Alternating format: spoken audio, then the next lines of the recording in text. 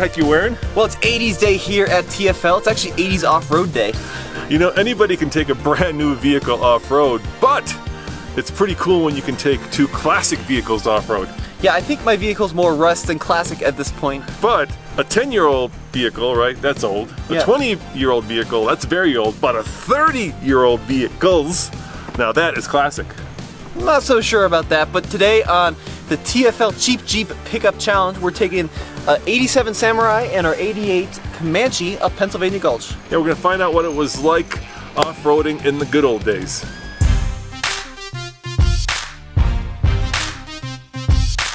And it's probably the, um, the perfect truck ever.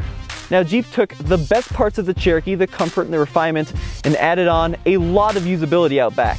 But it just does everything pretty well. And when you combine all those pretty wells into one package, it kind of becomes a really well situation.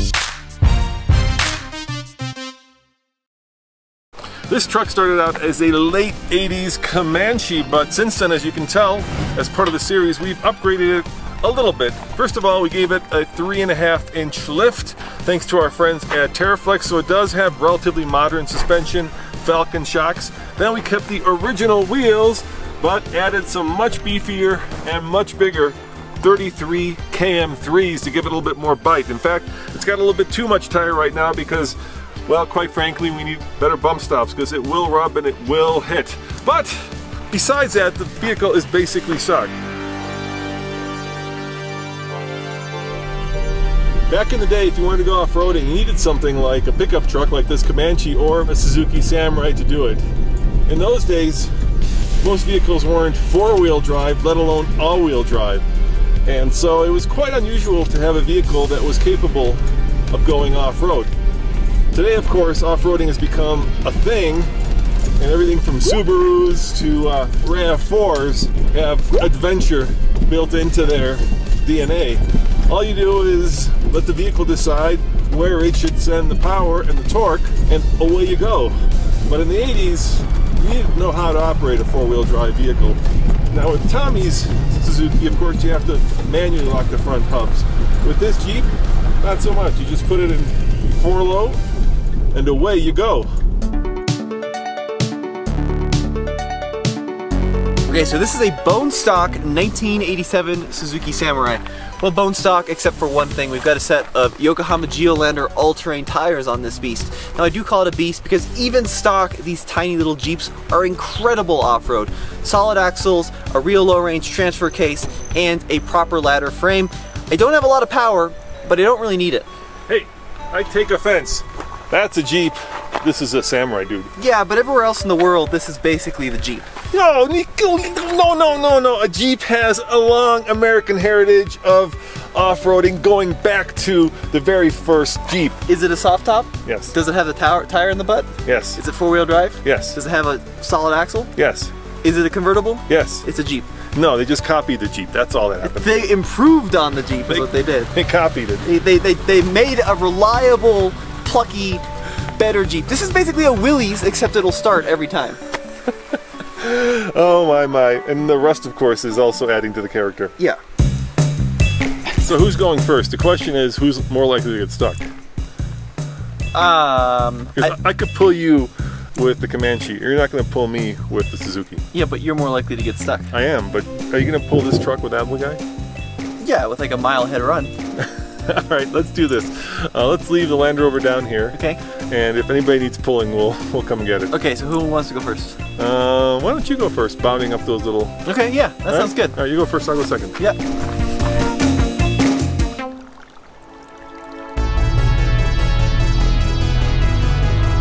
So here's why you buy a Suzuki Samurai.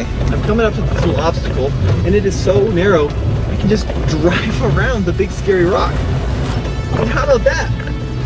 How about that? I mean, it's so narrow. It's basically the width of a side-by-side.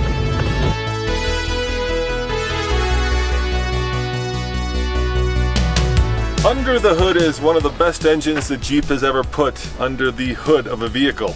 and that is of course a 4 liter straight 6. In fact, it's probably one of the best engines ever built for any vehicle, not just a Jeep.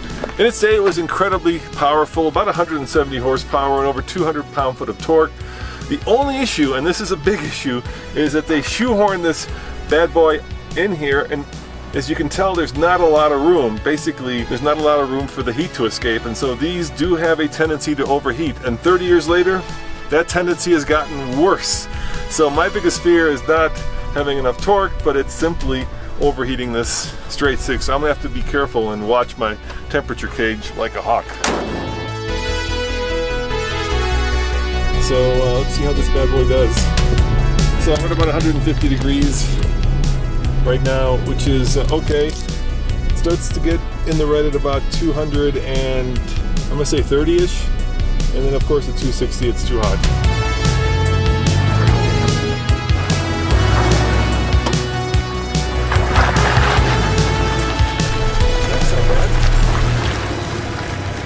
Bad. Could be worse actually. Not at all.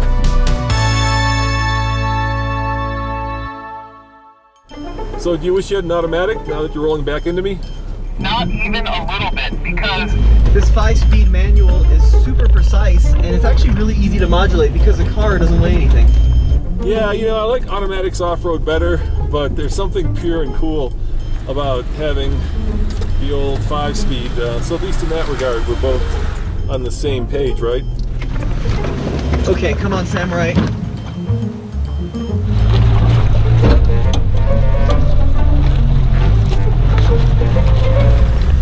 Oh, that's pretty bouncy.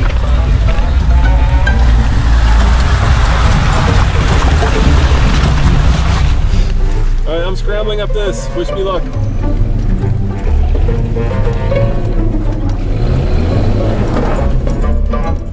Already stuck. Exactly what I was afraid of. I'm gonna try it with a little bit of momentum. Here we go.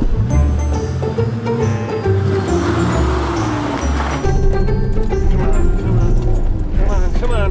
There it goes. Come on. Come on, baby, you can do it. Damn, that samurai just is like a little mountain goat. 1.3 liter four cylinder under the hood of the Samurai. Now the big difference between this and the Comanche is that this is carbureted, uh, which is not ideal at 8,000 feet above sea level when you're going up, you know, 20, 30% grades. Um, but what is great about it is it runs like an absolute top and it doesn't need a lot of power. It only has 60, 70 horsepower because it doesn't weigh anything. Under 2,000 pounds is what the Samurai weighs all in and I don't really weigh anything either. So all in all, it's a super light setup, not a lot of power, but you don't really need it. For a little behind the scenes, you guys may be wondering what's our recovery rig, and that of course is Landy, and Landy's become kind of like a golden retriever. We just fell in love with this vehicle, and I don't think we're ever going to sell it. Now, of course, it has all the modern stuff that you'd want when going off-roading, so not only is it lifted, with good tires. Of course, this is a 2004 and you're up, what, 20 years in technology when you get to this vehicle. So we use it with a lot of relish for our recovery rig. The only downside is Tommy went camping and put on this 100 pound tent and now the thing is really top heavy. And for all you guys out there doing overlanding, I know it looks cool to have all your stuff on top of the vehicle, but it's not good. Raises the center of gravity, and when you're actually doing some serious off-roading, it makes it super tippy and a little butt clenchy.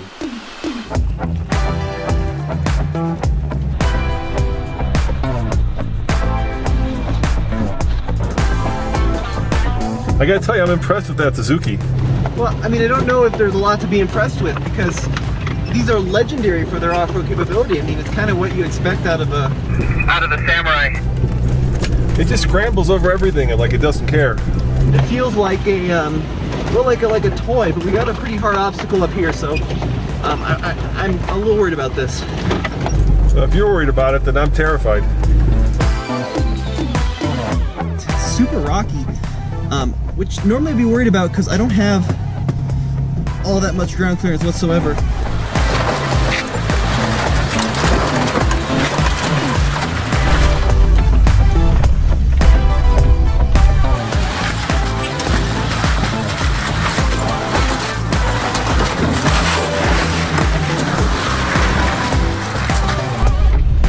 Ah, that, oh, that hurt. Not comfortable. Well, we're up to, uh, I don't know, 220-ish. Let me show you.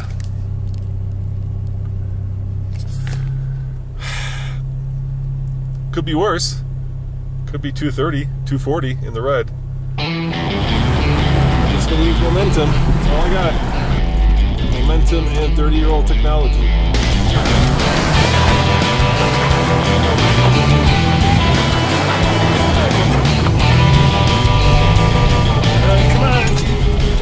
Good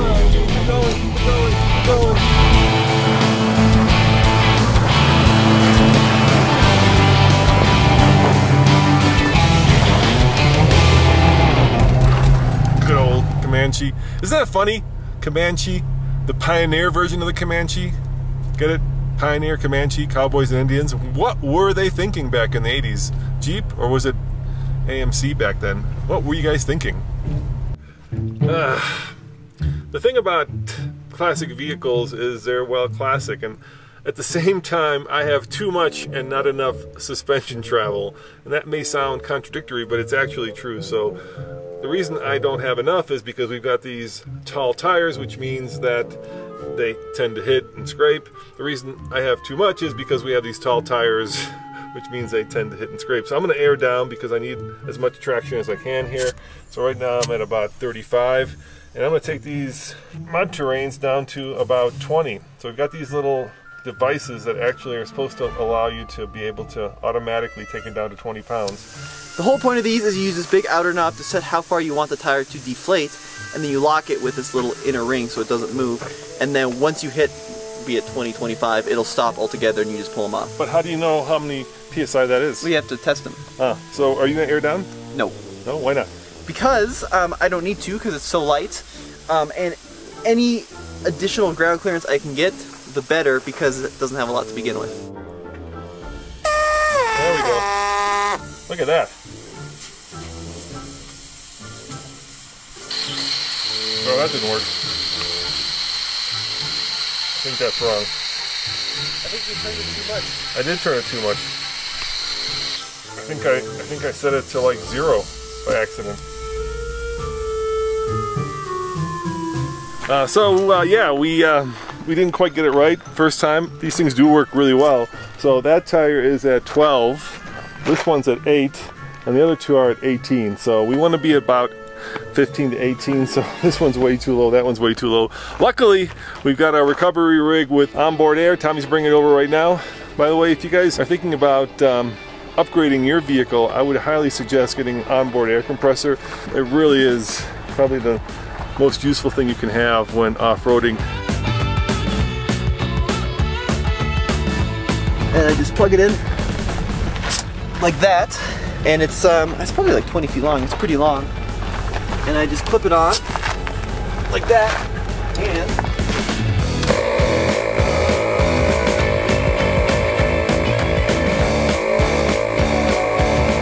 Okay, so the cool thing is, is when I unplug it, the air compressor will actually stop. It knows uh, what pressure is built up in the hose. And this is actually the dual ARB air compressor, so it's quite expensive, but it fills things up super fast. So that's just been a few, I don't know, maybe 20, 30 seconds, and we're all the way up to 24.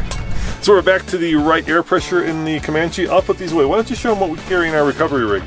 Um, so essentially what we have is a recovery kit minus the hat. So, you know, we've got uh, tree savers, straps, D-rings, all that fun stuff. A ladder for the tent. We have a uh, big battery booster for charging cameras. Um, lots of fluids and oils and stuff because it's a Land Rover thing. This is my favorite thing.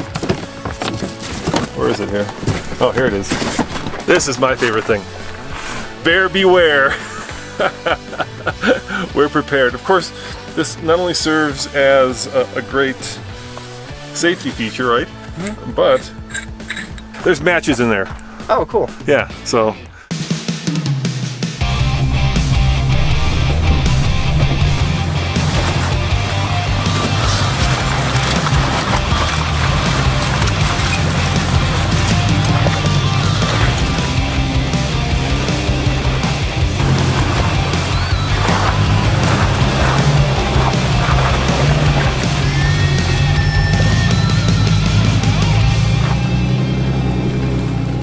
we got one more hard part and then we're through this. I think it's a good thing you got a soft top because otherwise your head would be bouncing off the roof. The only saving grace Yeah. is that it's narrow enough where like you can avoid some of the really bad stuff. yeah, but you know what? I try to avoid it and the thing rears up and you end up on them anyway. It's gotten harder this year. Yeah, way harder. Way harder, yeah. Or maybe it's just that we're in 80s vehicles and it seems harder. Yeah, maybe. Maybe. All right, let's finish this up. Okay, here we go. This is the V notch. You can see it goes whoop. And that's not so great on the Samurai because I don't actually have the width here, the one time I need to be wide to straddle it. A lot of throttle. There we go. Ooh, there's that open diff. Whoa, that's pretty tippy.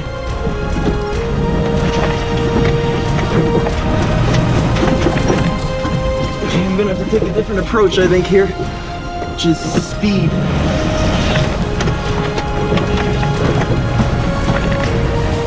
On, grip, grip, grip, grip, grip. Ooh, almost just took out the door. Just have to stay in it. What the hell am I gonna do here? I don't know. I don't think I have the clearance. Oh well.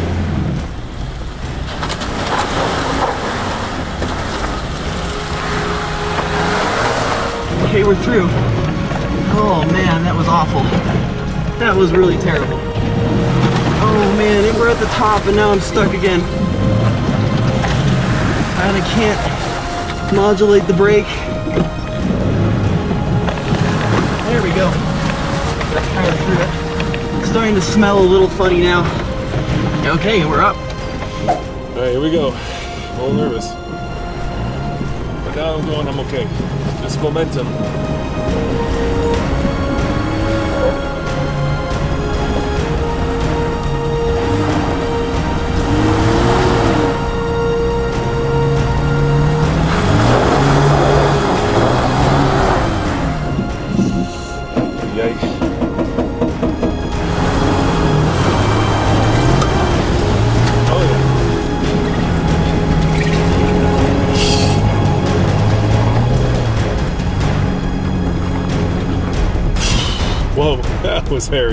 But fun. Comanche. All